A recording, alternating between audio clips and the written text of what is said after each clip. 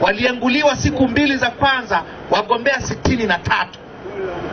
Kwenye udiwani tulikoweka wagombea elfu tatu na mia saba na hamsini na nne kati ya kata elfu tatu mia tisa na tano na hamsini na tano sio na tano.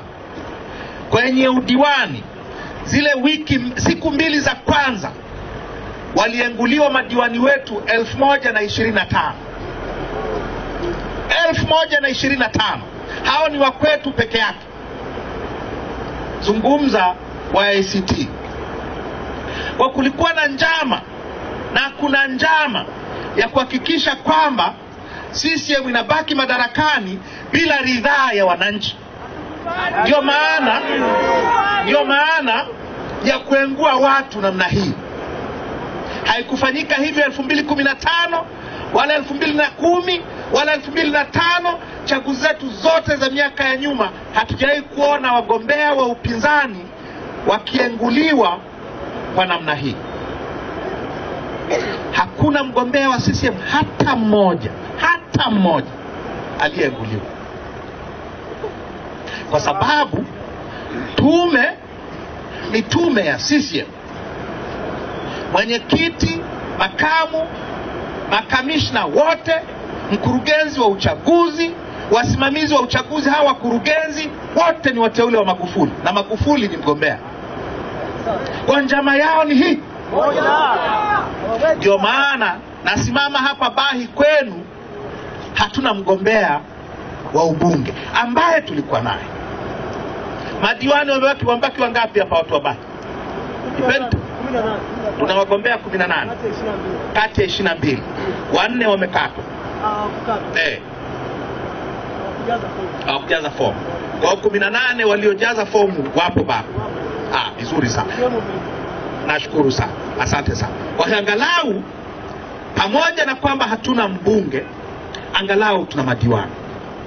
Kuna majimbo ambako hatuna mgombea wa ubunge na hatuna madiwani kabisa, na wameenguliwa kihuni hivi hivi. Misungwi Mwanza, kwenye kata ishirini na nane hatuna mgombea hata mmoja wa udiwani, hatuna mgombea ubunge, kwa sababu sio kwa sababu hawakuwepo, ni kwa sababu ya dhulma, kwa sababu ya uonevu.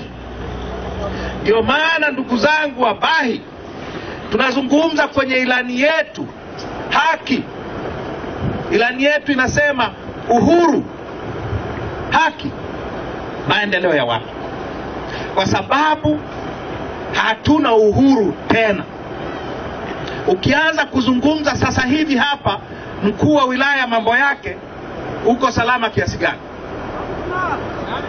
Ukianza kuzungumza mambo ya mtendaji wa kata hapa leo, anachangisha pesa, wanatuuzia vitambulisho. Ukianza kuhojihoji, mapolisi wanakuja, nasema uongo. Kwa hiyo watu wana hofu ya kusema, hakuna uhuru wa kutoa maoni, hakuna uhuru wa kujiamulia mambo. Hata viongozi wetu tunaowataka, nasema uongo. Nyie hapa kuna mwenyekiti wa kijiji mliyempigia kura hata mmoja? Kuna mwenyekiti wa mtaa mliyemchagua? Sasa kuna uhuru hapa? Uhuru wa kuchagua viongozi upo? Ndio maana ilani yetu inazungumza habari ya uhuru, ili tuwe huru kuzungumza mambo ya serikali yetu, kuzungumza mambo ya maisha yetu, kuzungumza mambo ya- yanayotuhusu sisi. Serikali tunaziweka sisi wenyewe, wakikosea tunapaswa tuwaseme, lakini kwa sababu hakuna uhuru, hakuna anayediriki kusema. Hakuna mahali pa kusema. watu watu wa Bahi hapa eh, Nalima sana mpunga, unakosea eh, na kuvua samaki. Utaratibu wa kuvua samaki ukoje? Utaratibu wa mpunga wenu ukoje? Bei mbaya, au sio? Una unalima mwenyewe, unahangaika mwenyewe, mbegu, palilia nini mwenyewe, unapalilia mwenyewe, ukishavuna na kuweka kwenye magunia, wanakuja na, ma, na ma, ma road block njiani, bara beria kila mahali. Beria zile ni kwa ajili ya wakulima tu. Wanasimamisha haya malori makubwa yanayobeba yanayobeba vifaa vya viwandani. Wewe pitisha gunia lako la mpunga uone, wanakupokonya au sio? eh? Ufuta, mahindi, nini, wanakunyang'anya hadi mkaa. Nyie ni wafugaji au sio? Huyo ng'ombe aliyeko zizini wanakuacha, wanakutoza akiwa zizini. Nasema uongo? Ukitaka kwenda kumuuza inakuwaje? Ili upate kile kibarua cha mtendaji kwamba huyu ng'ombe ni wa kwako, unakipewa bure, wanaku, wanakupokonya au sio? Ukifika mnadani utauza bure, wanakupokonya. Au unasema uongo? Ukimchinja unataka kuuza nyama utauza bure, wanakupokonya au sio? Ukipiga makongoro uuze, wanakuacha bure? Eh? Ukiuza nguo ngozi yenyewe. Yaani. Kwa hiyo ng'ombe akiwa zizini, kodi wanakupokonya. Imekufa kodi, Unataka kumpeleka mnadani, kodi.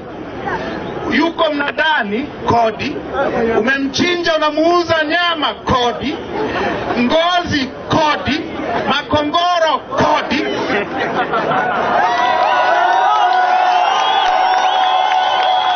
Ndio maana tunazungumza habari ya uhuru. Tunataka watu wetu wafanye shughuli zao za kiuchumi wakiwa huru bila kunyonywa namna hii.